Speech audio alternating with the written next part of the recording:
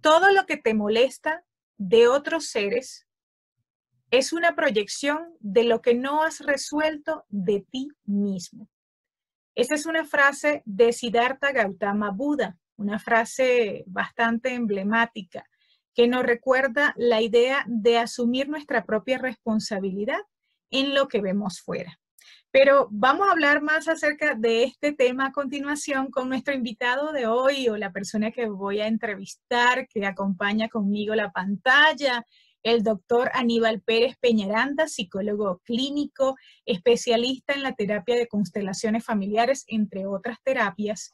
Y doctor, bueno, un placer saludarlo. ¿Cómo le va, doctor? ¿Sí me escucha? Sí, cómo no. Muy bien. Bueno, un placer. Mi nombre es Katy García, soy periodista, para quienes no me conocen. Bueno, iniciamos, doctor, con esta frase de, Buda, porque realmente siempre eh, tendemos a echarle la culpa a otros de las situaciones que nos pasan. Y en esta cuarentena, o bueno, ya no es cuarentena, ya, bueno, van más de 50 días, este, pero en este confinamiento eh, como que se recrudecen, ¿no? esos aspectos, esas situaciones y, hay como muchos conflictos, no, eh, más que entre nosotros, bueno, al final es entre nosotros con nosotros mismos, pero lo vemos proyectado afuera.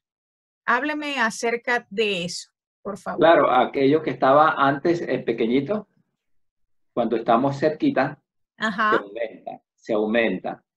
E, eso, inclusive se han hecho investigaciones con, con ratas de laboratorio y, y, luego lo aplican a los humanos. Eh, los animalitos de laboratorio cuando están en su territorio, pues son expandidos. Ellos se alimentan, corren, eh, tienen una actividad natural. Cuando es sacado de, esa, de, esa, de ese contexto natural, ¿verdad? Es decir, como ellos siempre viven y los meten en, en unas jaulas, pues aparecen, aparece lo primero que aparece, la primera emoción es la hostilidad. La hostilidad es defensa territorial. ¿no? Sí. Eh, ¿Qué pasa con el confinamiento? Eh, aquello que estaba en pequeñito antes y yo tenía roces con mi pareja o con mi, o con mi hijo o con otro familiar, cuando se aumenta la cercanía, eh, aumenta la proximidad y el ámbito de lo, de lo, privado o de lo que me corresponde a mí como espacio territorial privado se limita y aparece una reacción de defensa que es la hostilidad. Eso en primer lugar.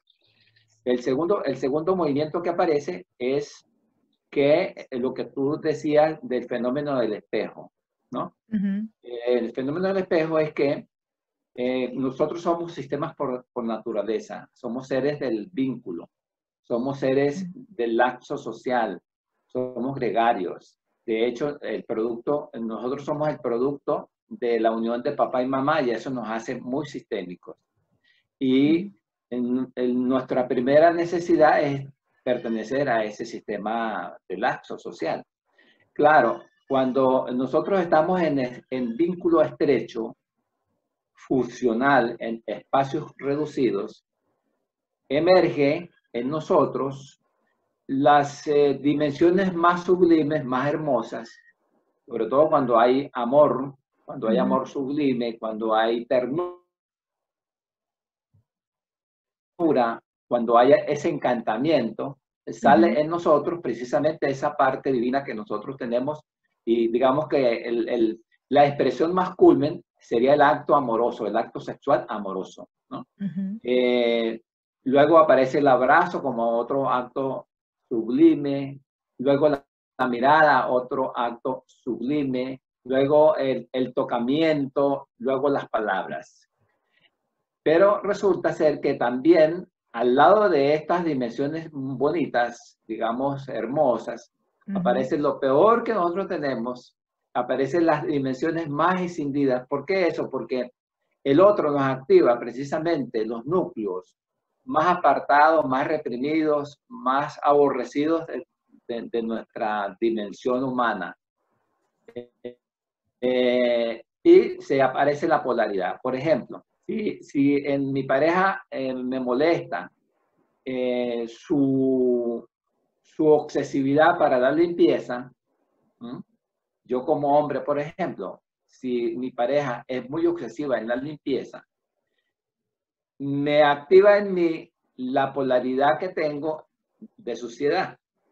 Quiere decir que si tengo demasiada mm, hostilidad o, demasiado rechazo a la limpieza, es porque no tolero dentro de mí la suciedad.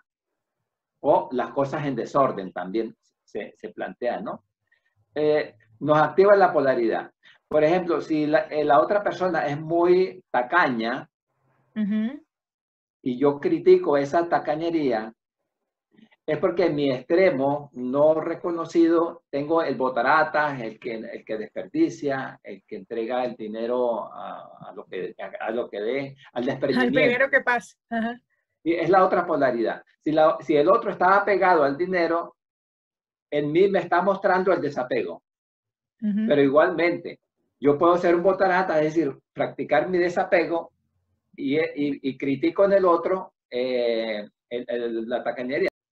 Evidentemente que hay una gama de, de tipos de familias. Hay familias nucleares con eh, papá, mamá e hijos. Hay parejas solas.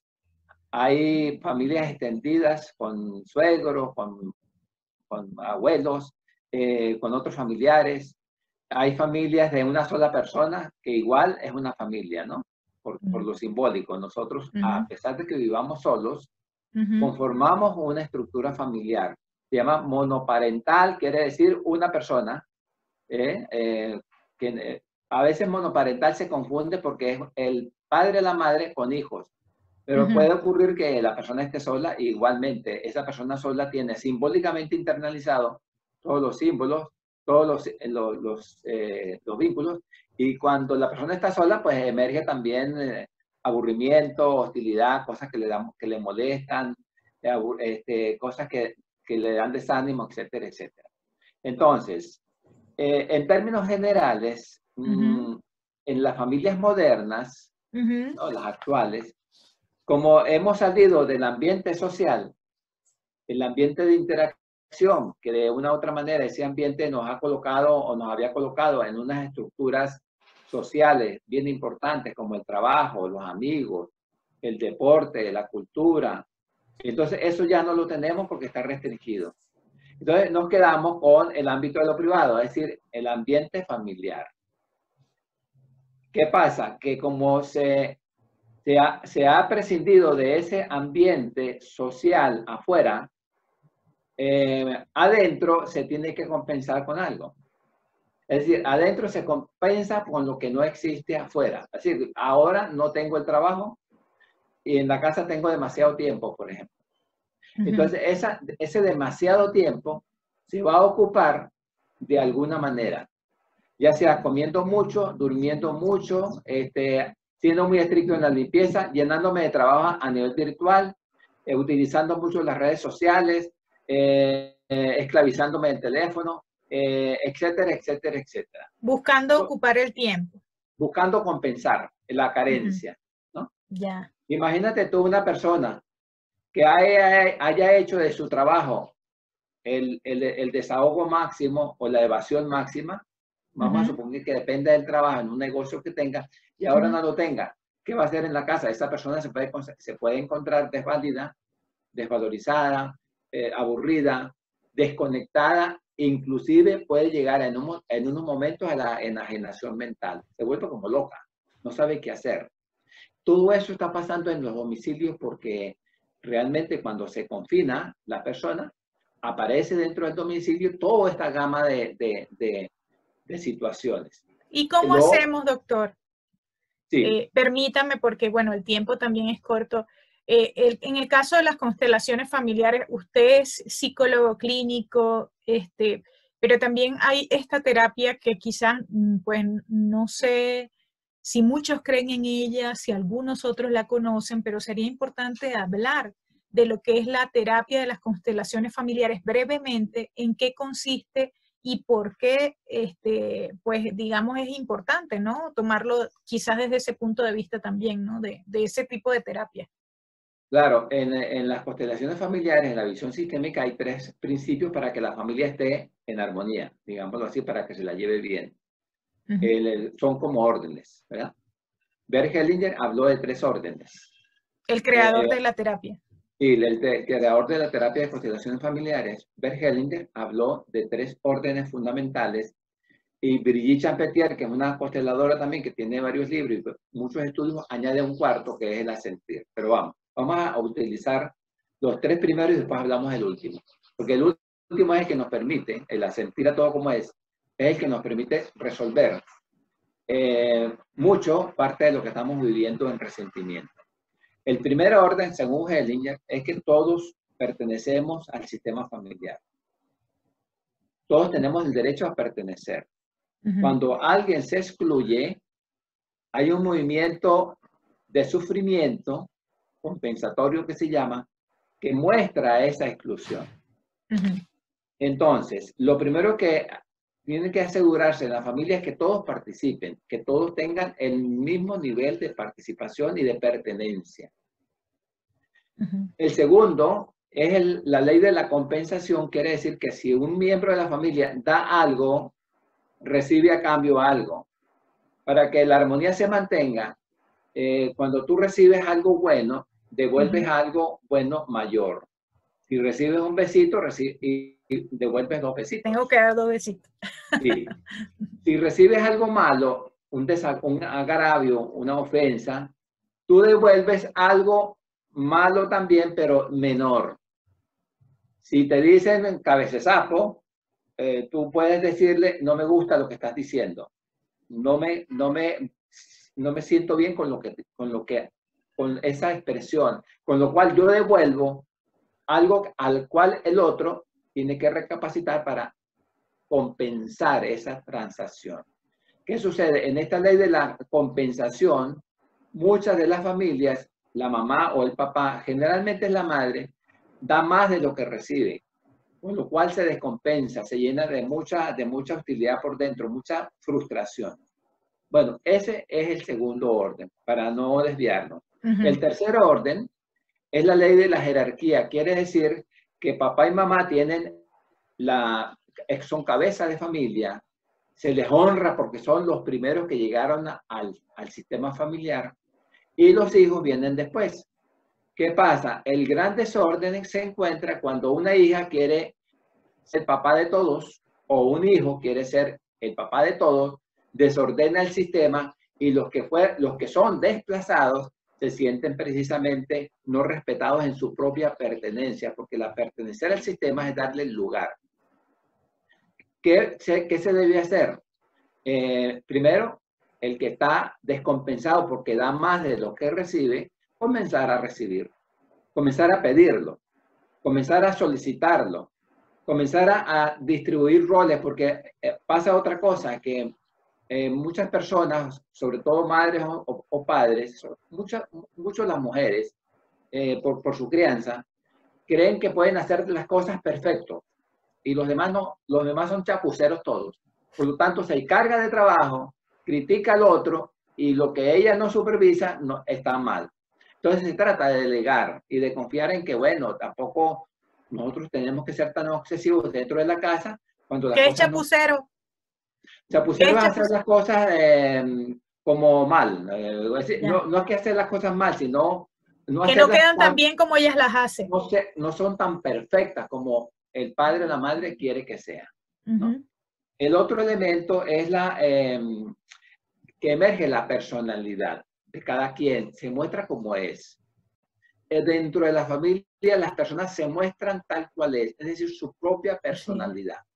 Por lo tanto, emerge todo el, la gran gama de personalidad. Por ejemplo, si yo soy obsesivo compulsivo, pues se me, se me, se me va a mostrar en la limpieza. Y los demás que de repente van a estar en el otro extremo, o van a sufrir o yo voy a sufrir porque ellos no son así. Porque de una u otra manera nosotros queremos que el otro cambie sobre la base de nuestras necesidades y nadie cambia si no quiere cambiar. Por lo tanto, el cuarto orden es la clave, el cuarto principio, que es asentir a todo como nosotros lo tenemos. ¿Cómo es eso?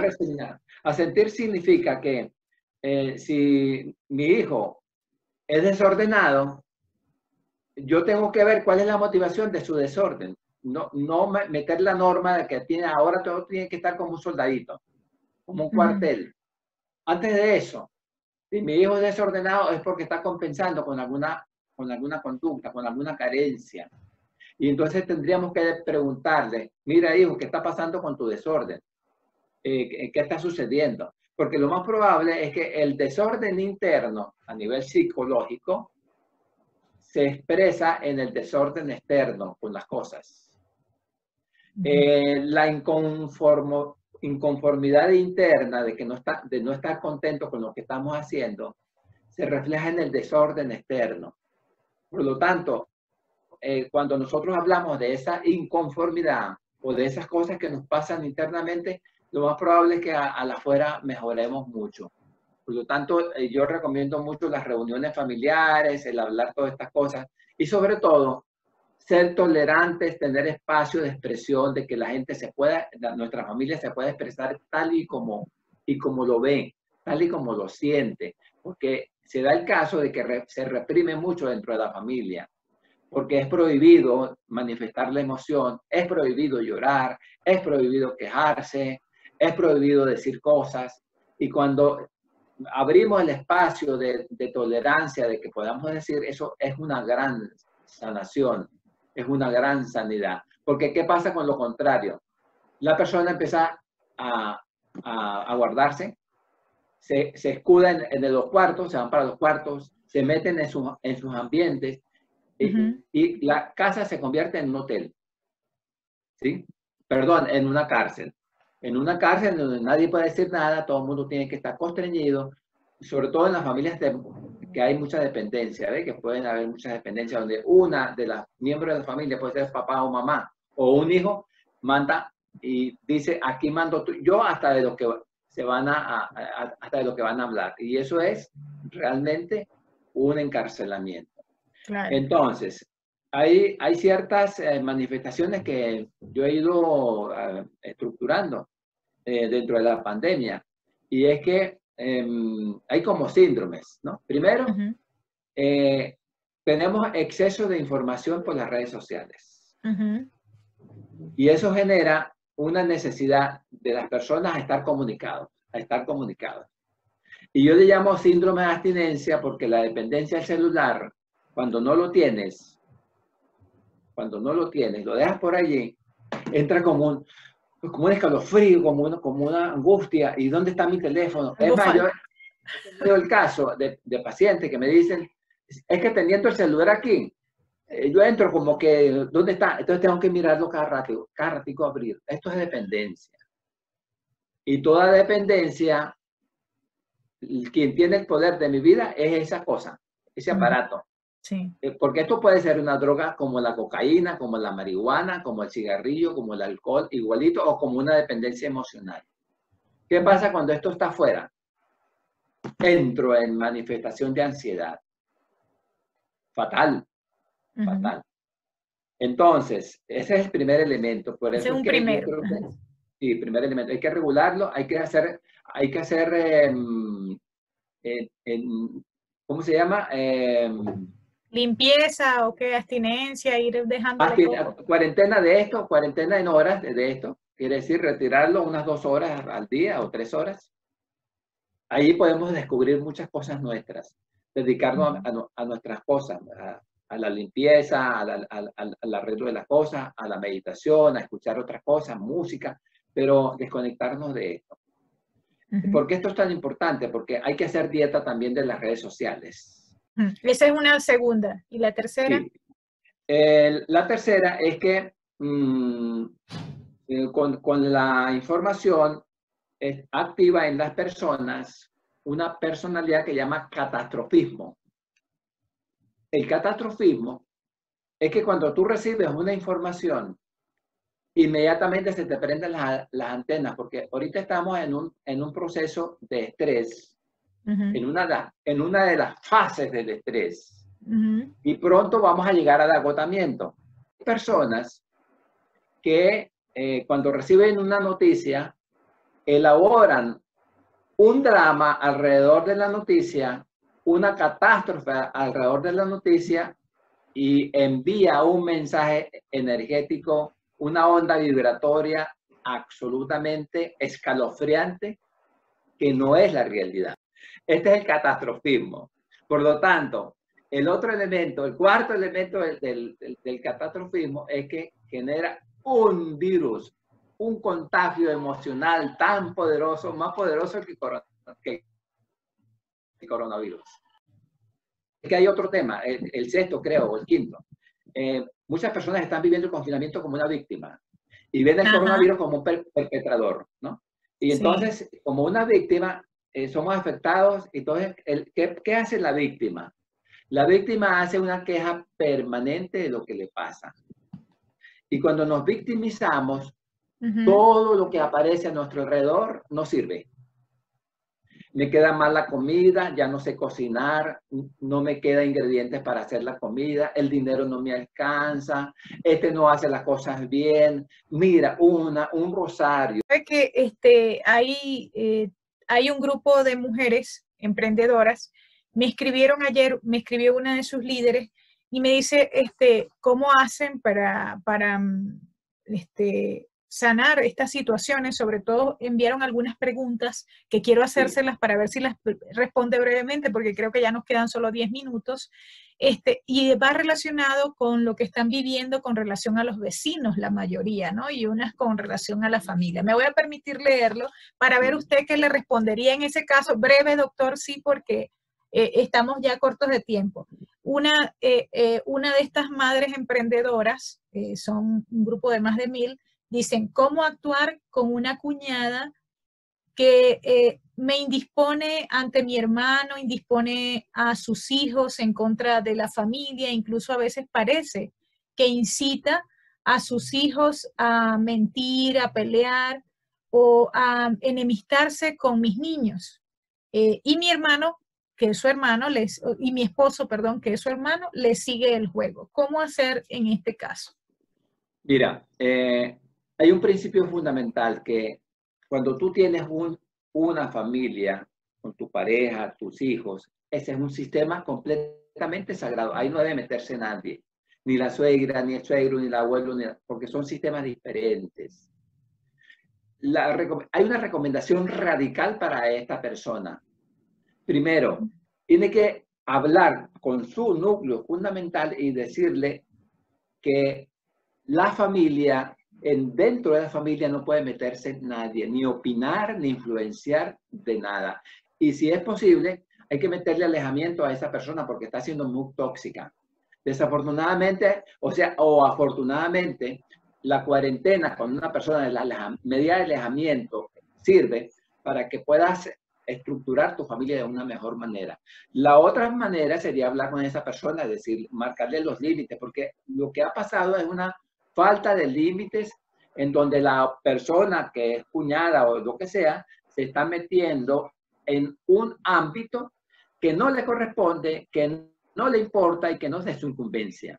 Por lo tanto, hay que limitar completamente esa relación, hablándole o hablando con, la, con, con, el, con, el, miembro de la familia más cercano para que gente. Siempre es producir una negociación, porque allí, en ese momento, los límites están perdidos. Cuando los límites se pierden, pues se doblega la dignidad. Y la dignidad de esta familia está doblegada porque una persona extraña, externa, se está metiendo en ámbitos que no le corresponden.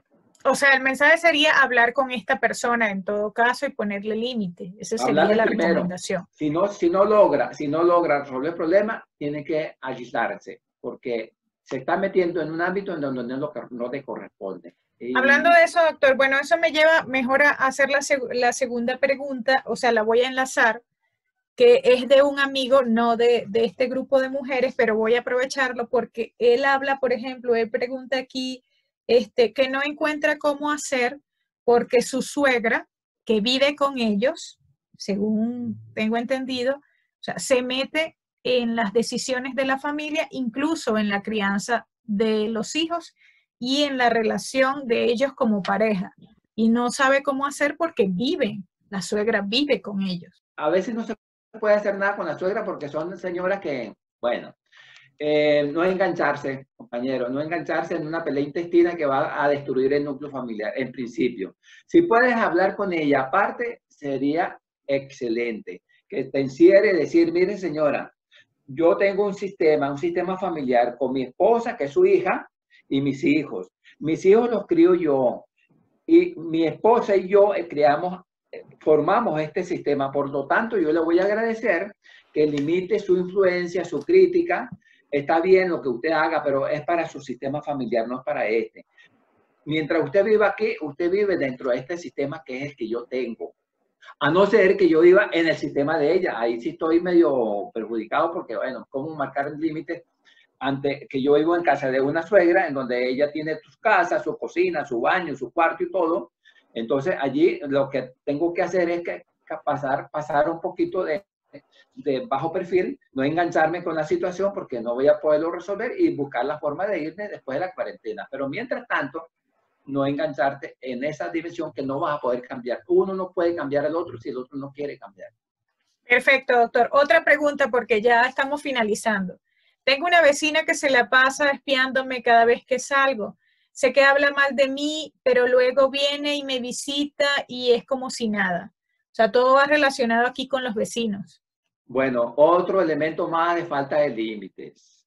A la gente hay que ponerle límites. Mira, si cuesta ponerle límites a nuestros cercanitos aquí al lado, eh, cuesta, ¿verdad? Pero hay que poner límites. ¿Por qué? Porque cada uno tiene, debe tener autonomía y vida privada.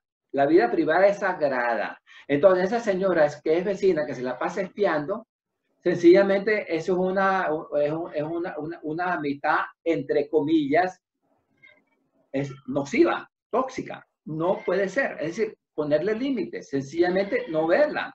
Si, si, hay que limitar esa amistad, se limita, porque lo que no puede hacer es engancharte en una, en una relación en donde tú sientes que te está perjudicando. Y es una vecina. Cierra la ventana o habla con la vecina, diga que no se meta. O sea, siempre es hablando.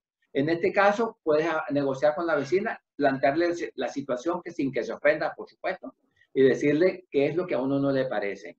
Si eso no se resuelve, compañera, alejado, alejado, porque el vínculo tóxico, si se, si se mantiene, si, se mantiene en, en acción, oxida mucho y la dignidad y la autonomía es sagrada para la persona. Tiene que defender. Ahora, aquí sí, lo que pasa es que, por ejemplo, esto que narran aquí, por ejemplo, dice otra, dice un vecino saca a su perro a pasear y este perro hace caca en mi espacio. El vecino no recoge la caca y cada vez que le digo se enoja. No sé qué hacer con esta situación. A mí me pasó hace como, un mes aquí, aquí al frente. Tenía una caca ahí a, la salida. Yo fui, traje a la, al vecina, la vecina, la traje, miren lo que está pasando. Por favor, póngale una mascota que tenía en unas escaleras por favor ponga la medida a esto, porque yo no, yo, no estoy llevando una mascota para que usted le haga caca allá. Colocarle la situación de frente, no hablarle indirectamente. A la gente hay que hablarle directamente. Decirle, mire, usted me está perjudicando con la caca de su, su mascota. Agarre su mascota. ¿Por qué? Porque voy a tener que denunciarlo. Entonces, si no me hace caso. Y si, y si no me hace caso, busco solidaridad con otros vecinos, porque no, yo no creo que sea el único que está perjudicado buscar apoyo en otros vecinos y tomar medidas, tomar medidas porque verdaderamente que son situaciones donde no se pueden dejar pasar. Esto cabría, por ejemplo, en otro caso que dice, hay una vecina que me perturba, cada vez que salgo, ella vuelve a abrir la puerta para decir que, que yo la dejé abierta. Este, y ambas vivimos en el conjunto residencial, o sea, al parecer la otra le está metiendo en problemas, que también es el caso de otra pregunta que está aquí más adelante, similar. Primero Los vecinos las están metiendo en problemas, según ellas. Primero hay que revisar qué grado es que yo estoy dejando la puerta abierta. Entonces tengo que tomar medidas, es, soy yo, ¿no? De, cerrar la puerta, es verdad. Siempre es de lado a lado. Ahora, si la vecina le gusta meterse con... Hay una manera de limitar... En este caso dice que es la vecina la que abre la puerta para hacer quedarla mal a ella. Bueno, mire, hay, hay una máxima en psicología que lo que nosotros vemos afuera, que nos molesta, de una u otra manera está en nosotros. ¿Qué es lo que comenzábamos la frase de Buda, doctor? Al final todo se reduce a eso. Entonces, cuando yo veo de qué manera esa, esa, esa vecina la tengo internalizada, porque a veces son lenguajes de los ancestros.